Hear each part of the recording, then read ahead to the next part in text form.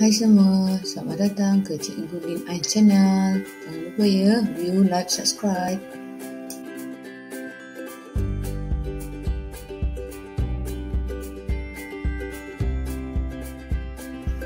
Tajuk hari ini adalah satelit watan manusia. Jom kita belajar sama-sama.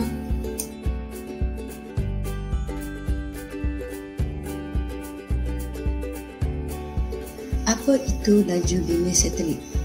Laju linear satelit adalah laju yang bergantung kepada kedudukan posisi orbit dari permukaan bumi. Satelit akan mengusaha ke arah bumi sehingga ia memasuki atmosfera.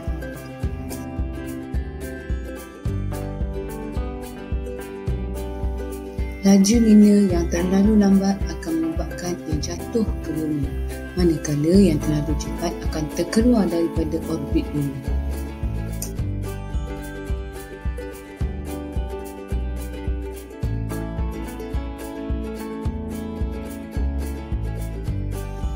Ciri-ciri satelit geopegun adalah arah pergerakan yang sama dengan arah putaran bumi, akan berada pada tempat yang sama di muka bumi dan kebanyakan berfungsi untuk satelit komunikasi. Contohnya Miasat. Ciri-ciri satelit bukan geopegun.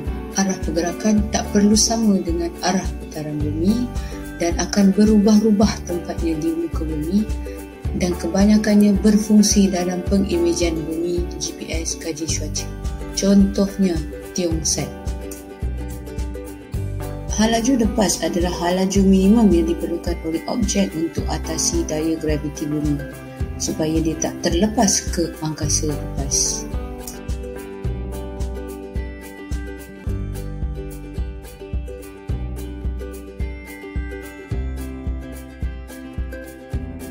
Manfaat halaju lepas yang pertama adalah bumi dapat kekalkan kedudukan lapisan atmosfera di kelilingnya.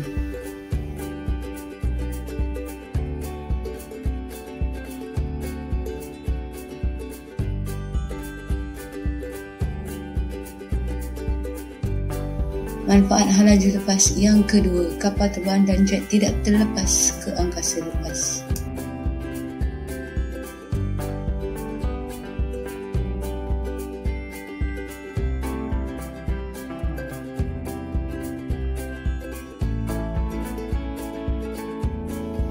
Manfaat halaju lepas yang ketiga adalah pelancaran roket ke angkasa lepas.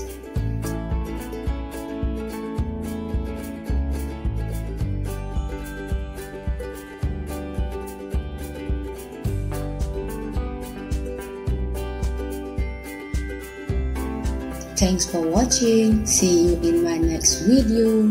Jangan lupa like, view, comment and subscribe.